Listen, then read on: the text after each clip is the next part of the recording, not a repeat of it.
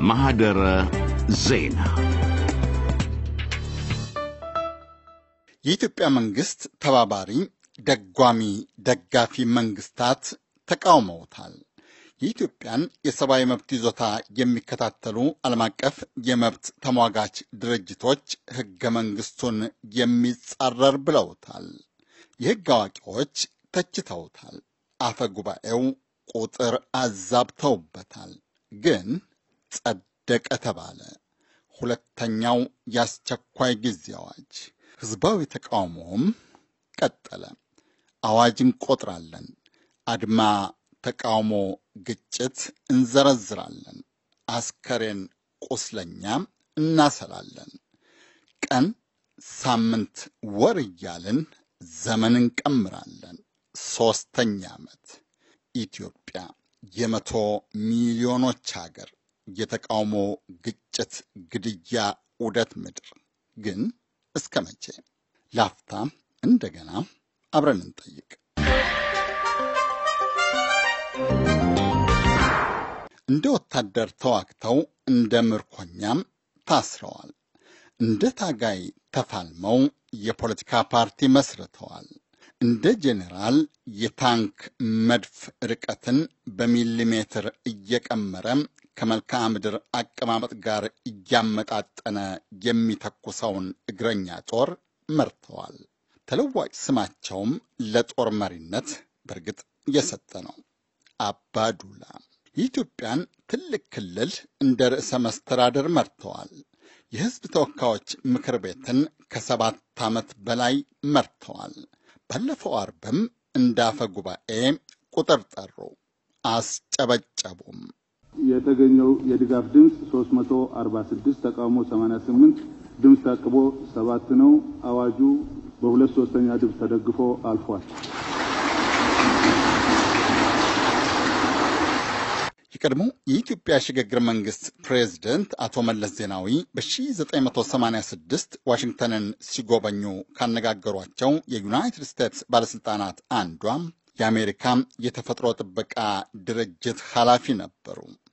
ወይዘሮዋ ከፕሬዝደንቱ ጋር ያደረጉትን ውይይት እንዳበቁ ለግራር ዛፍ የሚስማማውን አፈርና አየር ሳይቀር ጥቃቅን ነገሮችን የሚያስረዳ መሪ አጋጥሞኛ አያውቅም እያሉ አወደሷቸው። ለጥቃቅን ነገሮች ሳይቀር ይጠነቀቃሉ የሚባሉት መሪ አንዴ ጀነራል፣ ሌላ ጊዜ ሚኒስትር፣ ደግሞ ሌላ ጊዜ ርዕሰ መስተዳደር፣ እንደገና ሌላ ጊዜ አፈ ጉባኤ እያሉ የሾሙ የሸለሟቸው ፖለቲከኛ ትልቁን አዋጅ ያጸደቀው ምክር ቤት አባላት ቁጥርንና ድምርን አሳሳቱ። በትላንትናው ዕለት ከዚህ ውስጥ 88 ተቃውሟል፣ ሰባት ድምፀ ተአቅቦ አድርጓል፣ 395 ድጋፍ አድርጓል። ይሄ ሆኗል። ያ የኔ የቁጥር አደማመር ስህተት ነው የነበረው። የፍልስፍና ፕሮፌሰር ዶክተር ዳኛቸው አሰፋ እንደሚሉት ግን ስለ ቁጥር ስህተት የሚነገረው የኢትዮጵያ ገዢ ፓርቲ ኢህአዴግ ነፃና ፍትሐዊ ምርጫ መቼ ፈቅዶ ያውቅና ነው ይላሉ። አወዛጋቢ የሆነ የፓርላማ ቁጥር በምንሄድበት ጊዜ free and fair election ፍትሐዊ የሆነና ነፃ የሆነ ምርጫ በየትኛውም መስክ ኢህአዴግ ሊሰጥ አይችልም የሚል አቋም ነው ያለው። ለዩኒቨርሲቲ ፕሬዚዳንትነትም ሆነ ለ political እንትም ሆነ የሀያ አምስት ዓመት ተመክሮ የሚያሳየን የፓርላማም ቆጠራ ይሁን በፍጹም ሊሰጡ አይችሉም። በቃ በዚህ ልለፈው። ይሄ አዲስ ነገር አይደለም። የአምቦ ዩኒቨርሲቲ መምህርና የአምደመረብ ጸሐፊ አቶ ስዩም ተሾመ እንደሚሉት ደግሞ ቁጥሩ ስህተት ከነበረ መታረም የሚገባው በራሱ በምክር ቤቱ ጉባኤ መሆን ነበረበት።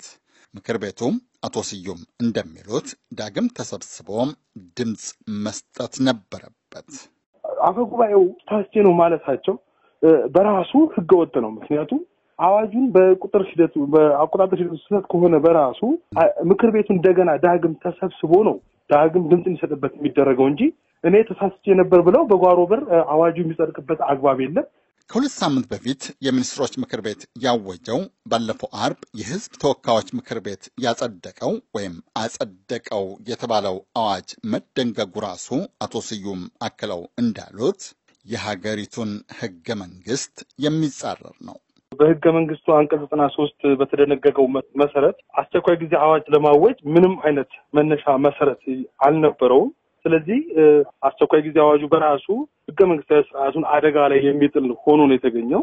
በዚህ መልኩ ተቃውሞ እየገጠመው ሳለ ለህዝብ ተወካዮች ምክር ቤት ቀርቦ የጸደቀበት አግባብ በራሱ ትክክለኛውን የህግ አግባብ የተከተለ አይደለም። ያለ ህዝብ ፍቃድ፣ ያለ ህግ ድጋፍ ተግባራዊ የተደረገ አዋጅ በመሆኑ አዋጁ በራሱ ፍጹም ህገወጥ ነው ማለት ነው። ዶክተር ዳኛቸው ደግሞ የማርሻል ህግ ይሉታል። ማርሻል ሎ ነው የምለው የታወጀበት የፖለቲካ እንቅስቃሴ ነው ነው የምለው ራሱ የአርሚው መውጣት እንዴት በልኝ ጠረጴዛ ዙሪያ ፓርቲዎቹ መሀል በሚደረገው የፖለቲካ ፍልሚያ ሽንፈት የደረሰባቸው ኃይሎች በሌላ በኩል ደግሞ ብቅ ብለዋል ነው የሚለው። ክሎዝቪትስ አንድ የጀርመኑ military historian ምን ይላል? war is continuation of politics ይላል። አሁንም army ው የፖለቲካው የትግሉ ቅጥያ ሆኖ ነው የወጣው እንጂ እውነት እኔ እስከምረዳ ድረስ በጣም አሳሳቢ የሆነ ሁኔታ ተፈጥሮ አይደለም እና የዛ አጋር ነው። ማን ጠቅላይ ሚኒስትር ይሆናል፣ የትኛው ፓርቲ የበላይነትን ይዛል የሚለው double እንቅስቃሴ እየተካሄደ ነው። አንድ በወታደሩ ፍሮንት፣ ሌላው በጠረጴዛ ዙሪያ። እንደዛ ነው። ጠቅላይ ሚኒስትር ባልተመረጠበት ሁኔታ በራሳቸው እንኳን ህገ መንግስት ወታደሮቹ ወጥተው ያው የሆነው ነገር ሆኖ አልልሃለሁ። የሆነው በእርግጥ ሆነ። አዋጁ በጸደቀ ማግስት ቅዳሜና እሁድ ከምዕራብ ሸዋም እስከ ምስራቅ ወለጋ የሆነውን እሱ ያስጠላል ይለዋል። ዛሬም ትላንትም አምቦና ጊንጪ በጣም ያስ ማትገምተው ነገር ነው እየተደረገ ያለው።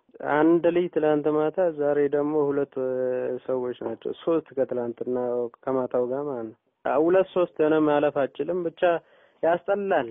ይሄኛው የማይገመት ነገር ከሁኔታ ጀምሮ እስከ ወለጋ ያለው መንገድ ዝግ ነው። ምንም እንቅስቃሴ የለም፣ አይታይም። አባትና ልጅ አንድ ላይ የሞቱት አለ። የፖሊስ አባልም እዛው እንደ አጋጣሚ እሱ በተገደለበት አጋጣሚ ነበረ። ትላንትና የሚያስፈራ እንትን ነበረ። እውነት በቃ የሆነ በቃ ምን ልበል በጣም የህዝቡ ንቅናቄው በጣም በሚገርም ሁኔታ ተቃውሞታል። በሚገርም ሁኔታ ከህፃን እስከ አዛውንት አዋቂ ምንም እየቀረ የለም። እንቃወማለን የሚል ምልክት እያሳዩ እነዛ አይነት ትዕይንት ነበረ ዛሬ ዛሬ ወሊሶ የትራንስፖርት አገልግሎት የለም። የንግድ ተቋማት ሙሉ በሙሉ ተዘግተዋል። የስራ ማቆም አድማው እና እንዲሁም የገበያ አድማው ሙሉ በሙሉ ተግባራዊ የተደረገበት ሁኔታ ነው ያለው። የከተማ ፖሊሶች እና የክልሉ አድማ በታይ ፖሊሶች በተወሰነ ደረጃ እንቅስቃሴ ያደርጋሉ። ሁለት የኦራል መኪናዎች የመከላከያ ሰራዊትን ጭነው ከተማውን ፓትሮል እያደረጉ እየተዘዋወሩ ቅኝት እያደረጉ ነው ያለው። አብዛኛው ኦሮሚያ የስራ ማቆም አድማውንም ሳይጠብቁ ማለት ነው። በተለይ ወደ ምዕራብ ኦሮሚያ ወደሚባለው አካባቢ ከሆሎታ ጀምሮ እስከ ደምቢ ዶሎ ጫፍ ድረስ በጣም የሰው ሕይወት እየጠፋ ነው። ብዙ ሰዎችም ደግሞ ተጎድተዋል። እንግዲህ ዛሬ ነው በኦሮሚያን ባዳረሰው መልኩ የስራ ማቆም አድማ እንዲደረግ ነበረ።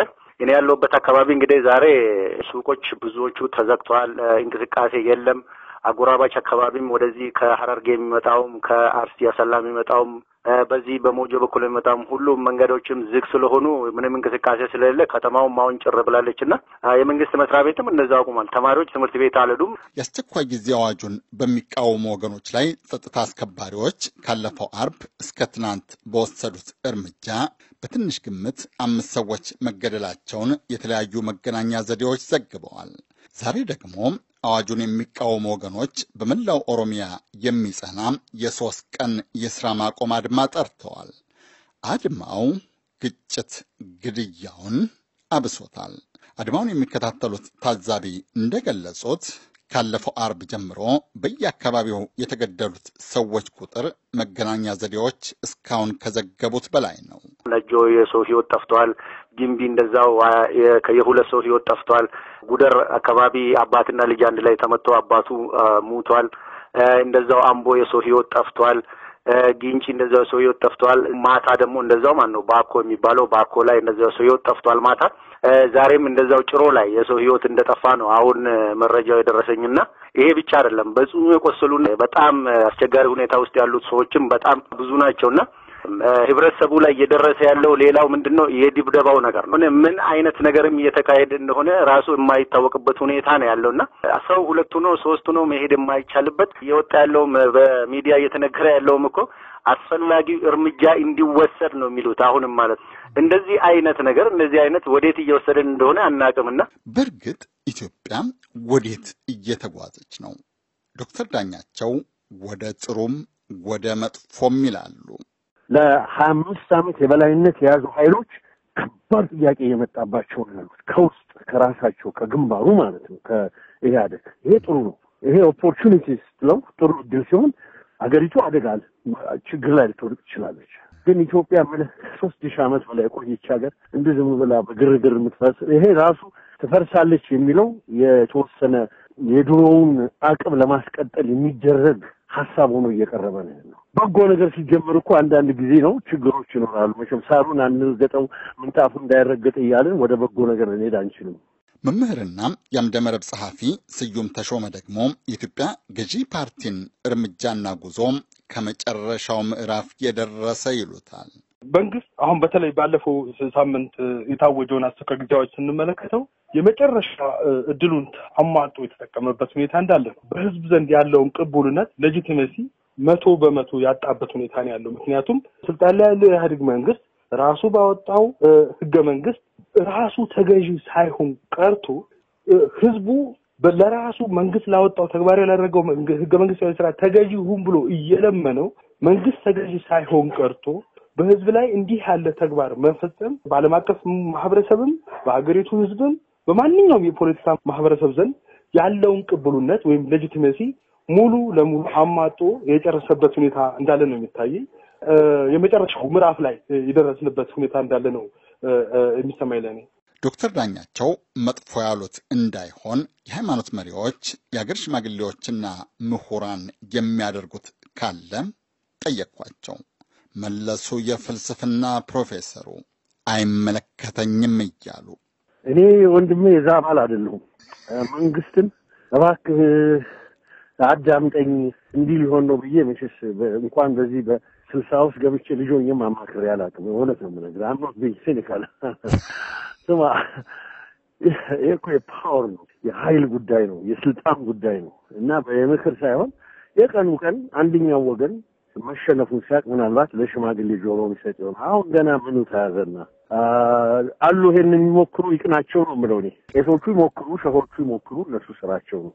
የዩናይትድ ስቴትስ ውጭ ጉዳይ ሚኒስትር ሬክስ ቲለርሰን ሰሞኑን ከሚጎበኟቸው የአፍሪቃ ሀገራት ኢትዮጵያ አንዷ ናት። አንድ የመስሪያ ቤታቸው ከፍተኛ ባለስልጣን ባለፈው አርብ ስለ ጉብኝቱ በሰጡት መግለጫ የቀድሞው የኢትዮጵያ ጠቅላይ ሚኒስትር አቶ መለስ ዜናዊ ያሉትን ጠቀሱ። ኢትዮጵያ ሁለት ቢሊዮን ዶላር የሚያወጣ ቦይንግ አውሮፕላኖች በመግዛቷም 35 ሺህ አሜሪካውያን ስራ አግኝተዋል ብለው ነበር ጠቅላይ ሚኒስትሩ አሉ አሜሪካዊው ባለስልጣን። ኢትዮጵያን ለመርዳት እናንተ አሜሪካውያንስ ምን ታደርጋላችሁ? አክለው ጠየቁ አሉ ጠቅላይ ሚኒስትሩ። የኢትዮጵያ ሕዝብ ሰላም፣ ፍትህና ዲሞክራሲያዊ ስርዓት እንዲያገኝ ቲለርሰንን መጠበቅ አሜሪካኖችን እንደገና መጠየቅ ይኖርበት ይሆን? ነጋሽ መሐመድ ነኝ። እስኪ